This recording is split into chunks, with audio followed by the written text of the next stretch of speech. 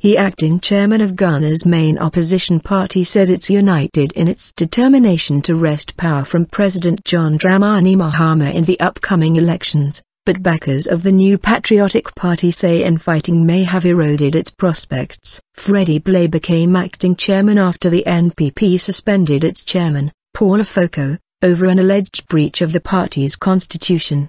He is challenging the move in court. Nyaho Tamakloe, a prominent member of the NPP, called the appointment of Blay, formerly of the Convention People's Party, a fundamental mistake. Blay has no business whatsoever in the NPP, and indeed all our woes are coming from that man, local media quoted Tamakloe as saying.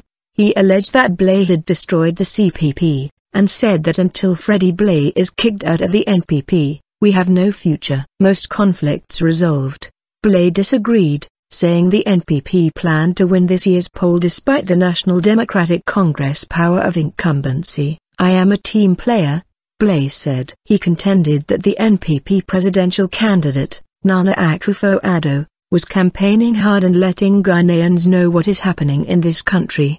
He is adding his voice to the high voice of Ghanaians against the ineptitude, the corrupt government and incompetent leadership of President Mahama and his NDC party. We've resolved most of those so-called conflicts that one perceives the party to be bogged down with, Blay added. Let me emphasize that we are more united than what people may think. The governing NDC has rejected accusations that it is to blame for the opposition party's woes. Supporters of the NDC say the NPP needs to look itself in the mirror after indefinitely suspending its chairman and its general secretary, Kwabena Agyapong. Meanwhile, the NPP has expressed concern about voter registration in Ghana saying a new list should be compiled before the elections because the current one is bloated with non-citizens and minors. If the problem isn't resolved, the bloated register will undermine the integrity of the polls.